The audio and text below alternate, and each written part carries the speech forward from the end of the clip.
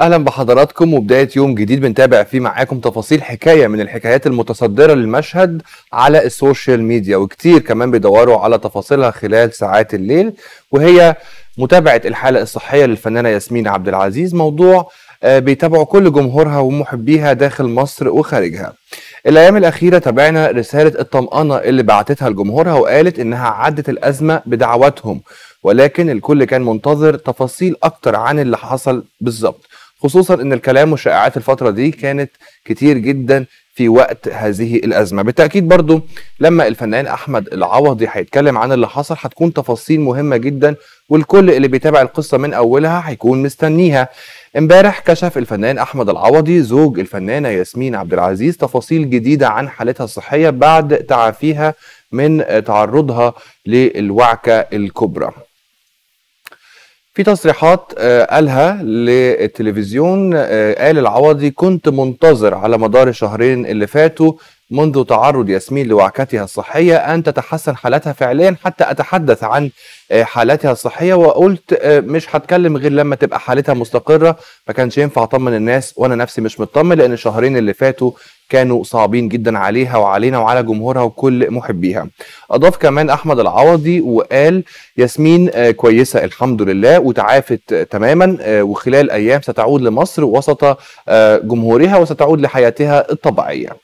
كمان كان في تصريحات اتكلم فيها أحمد العوضي عن كواليس أكتر للأزمة الصحية والأول مرة بيكشف التفاصيل وبيقول إنه في يوم 11 يوليو الماضي دخلت ياسمين للمستشفى كانت المفروض تعمل عملية بسيطة متعارف عليها في أوساط الأمراض النسائية ومن المفترض بحسب حديث الطبيب المعالج لياسمين إنه بعد إجراء تلك العملية آه، النسائية هتعود لمنزلها في غضون من ثلاثة لأربع أيام لكن ياسمين شهدت تدهور بعد العملية آه، وكان تدهور كبير. طبعا زي ما تابعنا مع حضراتكم كانت الفترة الأخيرة الفنان أحمد العوضي بيتكلم عن وجود خطأ طبي.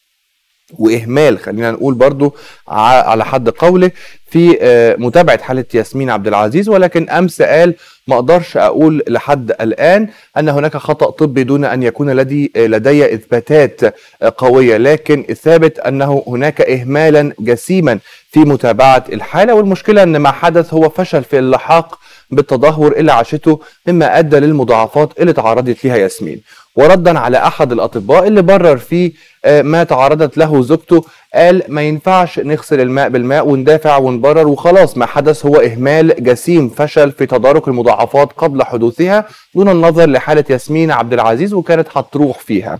بعد الشر طبعا. قال كمان العوضي ياسمين فعلا كانت هتموت فيها. وهقول آه، حاجة حصلت. ياسمين كلمت الدكتور وقالت له أنا بموت ضحك وقال أنا في أجازة وروحي تعشي وتمشي ده يعني ده اسمه كلام هل ده طبيعي؟ طبعا ده استكمالا لما جاء على لسان أحمد العوضي. وقال كمان إن ياسمين آه، فضلت أربع آه، أيام تقريبا تتقوى وتقول لي بموت. ولما أكلم الدكتور يقول لي لا عادي دي حاجة بتحصل لنحو 15% من اللي آه، بيعملوا النوعية دي من العمليات واللي شخصها من بره. وإنه بيشكر الدكتور هشام كيلاني أستاذ الجراحة بجامعة عين شمس ودكتور عصام شلباية اللي أنقذ حياتها جراحيا في التوقيت المناسب وده نموذج للأطباء المحترمين.